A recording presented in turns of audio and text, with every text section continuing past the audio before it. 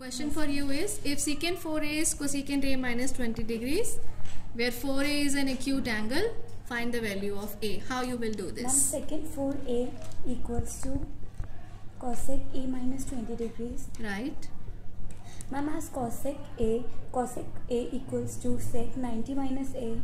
cosecant a A. is secant 90 minus A. 90 degrees minus a We will get the secant 4a hmm. equals to sec secant cosecant secant secant 90 minus a 90 minus a plus 20 degrees. a minus 20 degrees i'm first writing like this So secant 90 minus theta is cosecant theta. So we have replaced cosecant A minus 20 degrees by secant 90 minus A minus 20 degrees. This is equal to secant 90, 90 minus A plus plus 20 20 degrees. So we have secant 4A is equal to secant 90 minus A plus 20 degrees.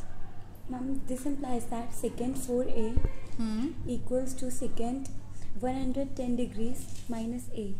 110 degrees minus A. This implies Uh, 4a equals equal to, to 110 degrees minus a.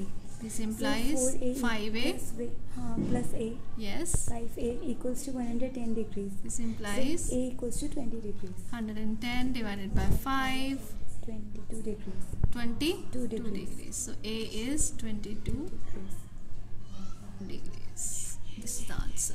Good job.